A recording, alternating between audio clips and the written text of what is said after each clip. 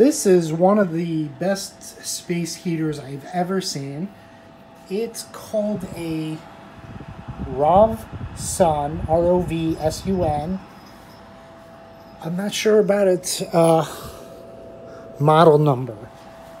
It comes with a tiny remote. It's a very small unit. It's very light, but it has the it harnesses it has the power of the sun, basically.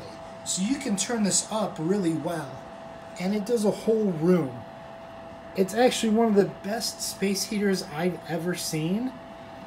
And uh, the only real complaint I have is it's got a tiny cord, so it can um, it can actually get very hot uh, if you don't have a good plug. Uh, definitely uses enough current, and I think it's got like two or three bulbs in it and it's very refreshing. It goes higher. It's got these different settings, but it was too powerful for where I needed it. Uh, just at an office in a tiny room.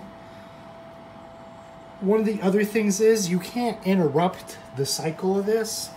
You have to turn it off so it can cool down.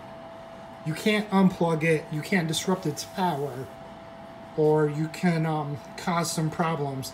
It's also got several protections in place, uh, tilt and such. Uh, you don't want to be you don't want to be kicking this thing around or anything. Uh, so I'm actually really really impressed, and it had a tiny remote.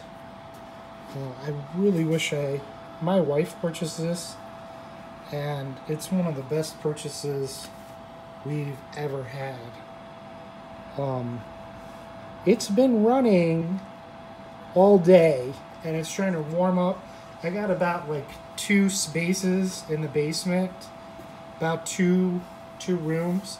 It's been it's been running almost uh, eight to ten hours with no problems. The plug's not getting that hot here, and I'm just very impressed and happy with it.